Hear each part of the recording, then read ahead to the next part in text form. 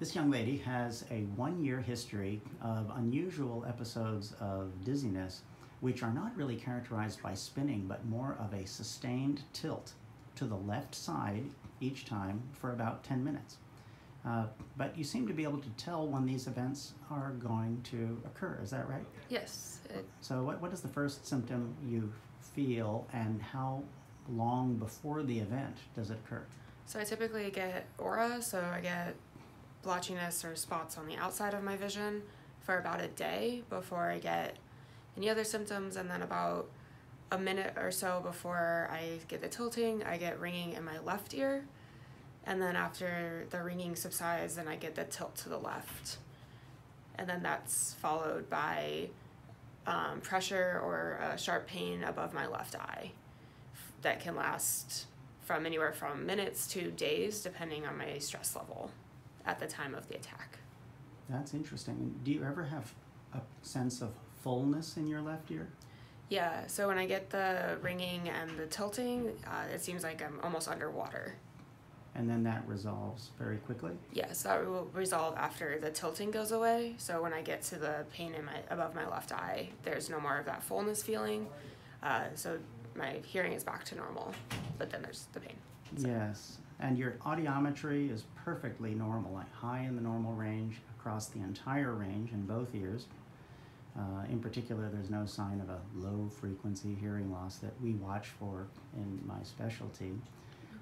And uh, your vestibular testing was all normal as well. There was, uh, however, a little bit, bit of abnormality with your um, ability to follow visual targets. So Yeah. we call it smooth pursuit abnormality, which um, we, when we see it in a younger individual, we think sometimes that it's not the inner ear, uh, it is the brain that's processing and coordinating the information between the inner ear and the eyes.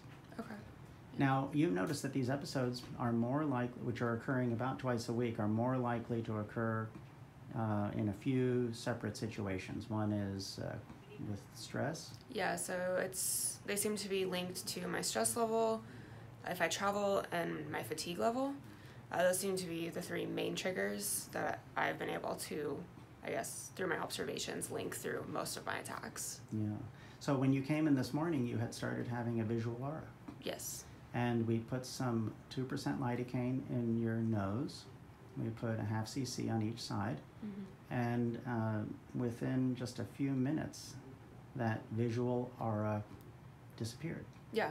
And that's um, kind of unusual, uh, it seems, in your experience. That hasn't been anything that you've been able to do um, w- other to break that um, once it starts. Yeah. So far, um, everything I've tried to break the cycle seems to have not worked, but the numbing seems to have rapidly worked.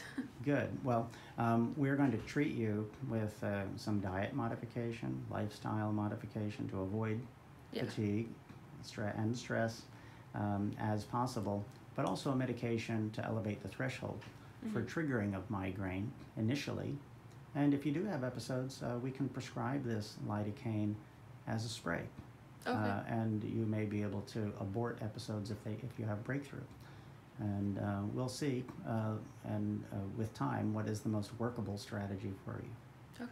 I thank you very Sounds much great. for sharing your experience. I'm sure Yeah. there are others who are having very similar um, um, problems uh, and who are having difficulty finding a suitable treatment. Yeah, I hope it helps.